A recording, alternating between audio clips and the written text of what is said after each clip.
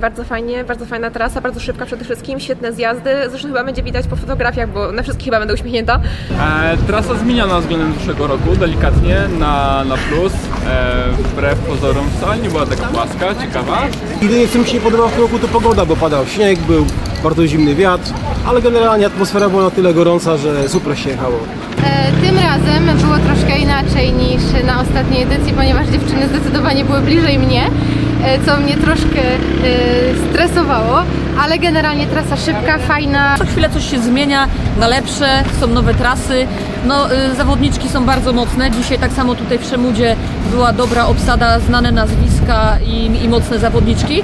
Jest bardzo szybko, rwane tempo, nie jest to dla każdego, tak? Na długich dystansach jest spokojnie, tutaj naprawdę trzeba być czujnym non-stop, 110% z siebie e, i 100% czujności, tak? Więc mam nadzieję, że za rok jeszcze wyciągną z tej trasy jeszcze parę rzeczy i będziemy dalej tutaj